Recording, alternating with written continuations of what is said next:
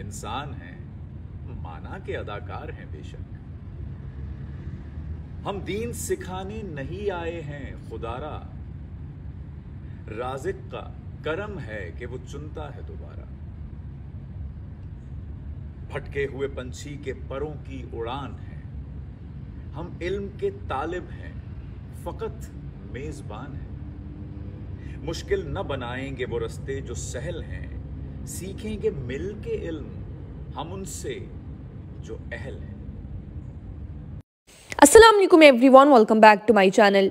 जैसे कि आप सब लोग जानते ही होंगे कि रिसेंटली राबिया आनम वर्सेस मोहसिन अब्बास हैदर को लेकर एक कंट्रोवर्सी चल रही है। अगर आपको ये पूरा मामला नहीं पता तो आपको बताते चलें कि रिसेंटली राबिया आनम को इनवाइट किया गया निदा यासिर के morning show good morning Pakistan में। दरअसल इस मॉर्निंग शो में निदा यासिर के तीन गेस्ट थे। एक थी राबिया आनम, फिजा अली और एक थे मोहसिन अब्बास हैदर।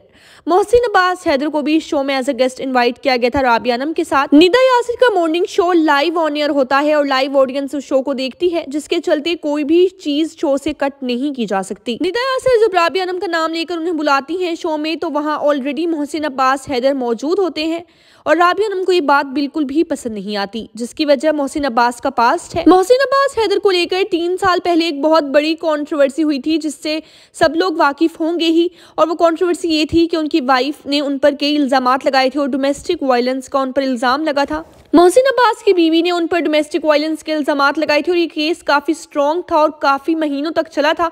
और कई सेलिब्रिटीज ने मोहसिन के खिलाफ उस वक्त स्टैंड भी लिया था। खैर, वो बात गुजर गई, तीन साल गुजर गए, उस बात को और सब लोग ये बात भूल भी गए। मगर रिसेंटली राबिया आनम ने मोहसिन की उसी बात को लेकर मॉर्निंग शो में उनकी काफ़ी इंसल्ट की।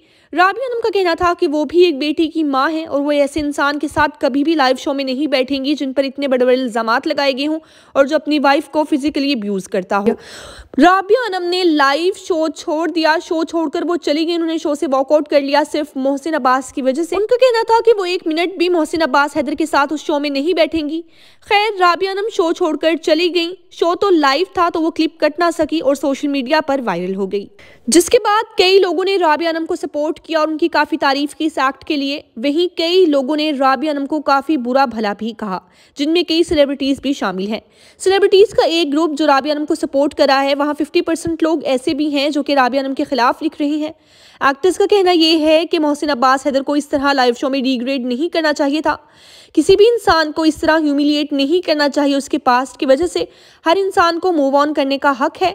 इस तरह से लाइव शो में आकर किसी की बेजती करना बिल्कुल ठीक नहीं। वहीं कई एक्टर्स ने कहा कि उनका दिल चाह रहा है कि वो खड़े होकर राबिया आनम के लिए तालियाँ बजाएँ। खैर एक्टर्स तो इस मामले पर ट्वीट्स करते रहे और बोलते रहे, वहीं मोहसिन अब्बास हैदर, जिन्हें लेकर ये पूरा मामला हुआ था, वो बिल्कुल खामोश रहे। फिर मोहसिन अब्बास हैदर अपने रिसेंट ड्रामा सियानी की एक पोस्ट शेयर करते हैं, क्योंकि उनका ये ड्रामा काफ़ी ज़्यादा हिट हो रहा है और इस ड्रामे की रेटिंग काफ़ी अच्छी आ रही है।